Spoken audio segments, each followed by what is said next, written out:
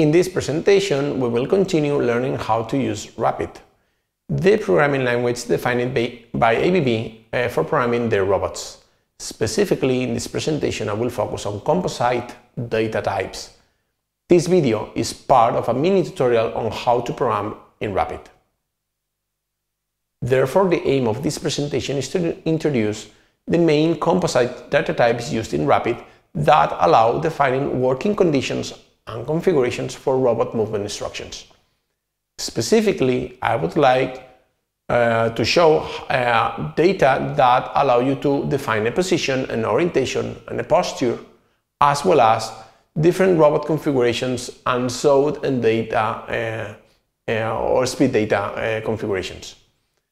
We will also see how to define the robot tool and how to define joint and robot targets in the end. Composite data allow us to handle information in an organized way with a single variable composed of more data with the same or different data types. It is very similar to a struct in C in the sense that it contains fields, one or each one with a different data type and name. To access to a field of a composite, composite data type, we will use the dot operation. In the example, the data type ctype underscore 2 has two numerical fields with names name1 and name2.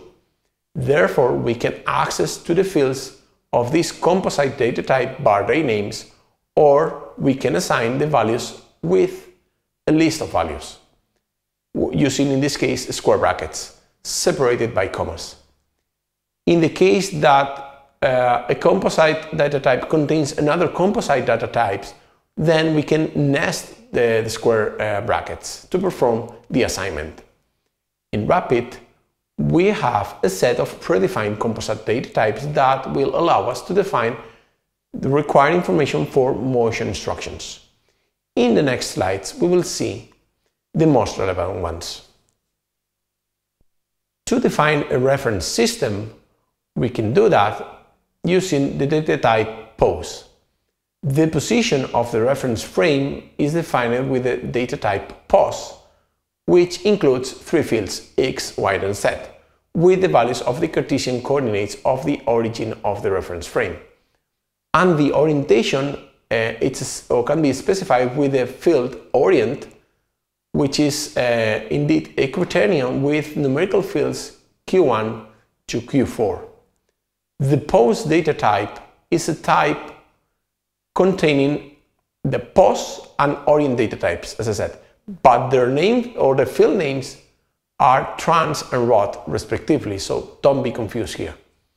Here I show you an example on how to initialize and assign values for this type of data. To reach a position, the robot can reach that position with different configurations, mainly affecting two joints 1, 4 and 6 of the robot. Rapid allows defining different robot configurations with four numerical values in the conf data structure. Three that define the quadrants of the joints that I have previously mentioned and that they can take a positive or negative value between 0 and 3 for the positive quadrants from 0 to 90 degrees, from 90 degrees to 180 degrees and so on. And minus 4 to minus 1 for the negative quadrants. That means from 0 to minus 90 degrees and from minus 90 degrees to minus 180 degrees and so on. As you may guess, there might be ambiguous values. That is, the number 4 and minus 4 represent actually the same quadrant and number. Number 3 and minus 3 also the same. In addition, uh, conf data also includes a fourth value, CF, uh, in this case CFGX, that allows defining the robot configuration with a number from 0 to 7. Here I show the 8 possible configurations for an IRB 140 degree, uh, 140 robot. As I have mentioned before, values CFG1, CFG4 and CFG6 of uh, conf data represent quadrants of joints. Here we see a figure taken from ABB's reference manual showing these quadrants. However, uh, this is true for revolute joints because the meaning of those values uh, for prismatic joints is a different thing. They actually represent regions in meters of possible joint values. Anyway, the meaning of all these values is highly dependent on the robot we use, so we recommend to see its reference manual to understand in detail all possible configurations. You can also learn quite a bit uh, using, in this case, Robot Studio software, because in there you can modify the robot configuration within the list of all possible configurations for a given target. The points of uh, the trajectory of a robot can be stopping points or non-stopping points, also known as flyby points. In stopping points, the robot will stop at the end of or when reaching that point, while in flyby points, the robot will maintain an intermediate speed between the two movement instructions, and the tool center point will not pass through the actual program point. In this case, we can define a zone data to determine the accuracy in which the robot must pass near the program point.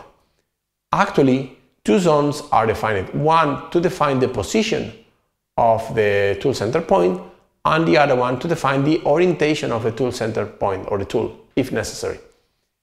In the figure on the right, uh, we can see how uh, the size of the second area affects to uh, define the region in which the tool begins to change the orientation. Therefore, to define the accuracy of points uh, in a trajectory, we will use the data type zone data that allow us to define if the point is a stopping point or a flyby point, and also the size of the previous mentioned regions. In that uh, data structure, uh, this it contains a Boolean variable to define whether if it's a stopping point or a flyby point, and also six numerical uh, variables that define the size of the zone. So please refer to the technical reference manual for details, because the recommended values are indeed, uh, or the, the, the, values recommended to, to be used uh, depend on the, the tool to use and uh, on your applications. But anyway, we can use some predefined variables.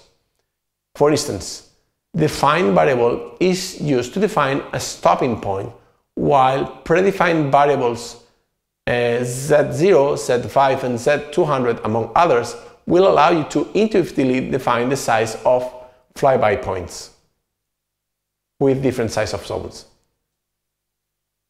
A speed data includes four values.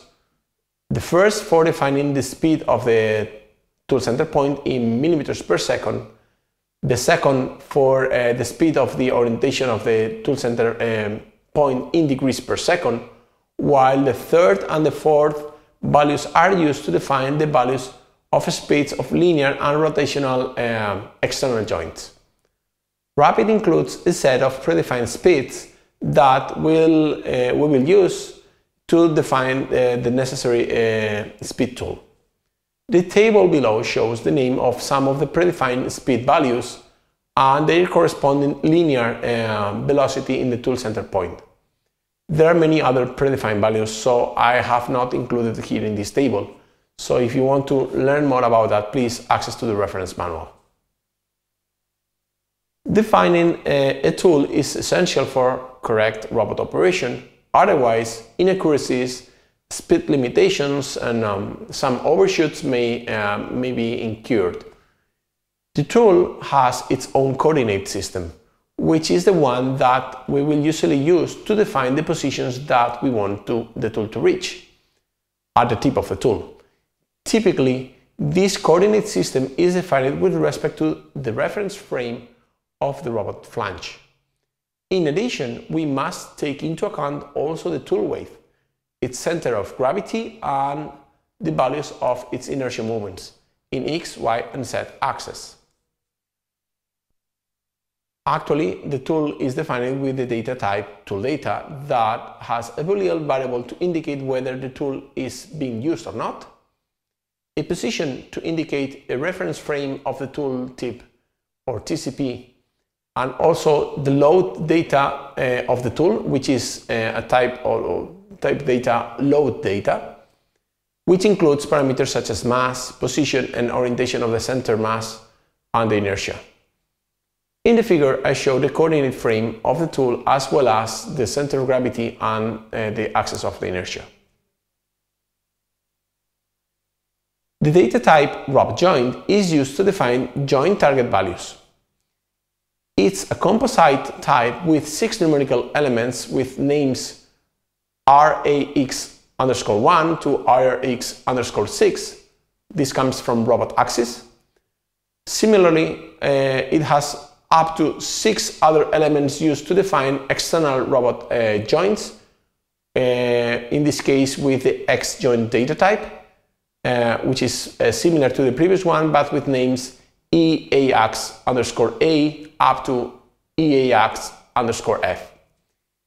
If a robot has no external axis, this can be indicated using just simply the value 9 to the times uh, of 9 so E, uh, 9E9. Finally, a joint target is a composite type that includes the robjoint and the extjoint data. With the names, in this case, the names of the fields are ROP AX and extax. Here we can see an example in which a calibration joint position is defined. As you can see in this example, there's a first external joint too. And finally, we will explain one of the most used data types. Is, this is robtarget. It's a composite type to define the position and orientation of a reference frame, as well as to indicate a specific robot configuration to be used and uh, the values for the external joints. Here uh, we see how to set a target position, uh, in this case defined with a negative uh, 20 millimeters from the z axis and also with a 90 degrees rotation in the z axis around the z axis that corresponds to the quaternion in this case 0.700 0.7 this selected configuration is 0000 and in this case has no external joints. This position is relative to another reference frame in this case indicated by the name w object which means working object this is something we will see when defining the motion instructions. Well, in this presentation I have introduced common composite data types used in Rapid. In the next video, we will see how to use them to define the movement instructions of a robot. Thank you very much.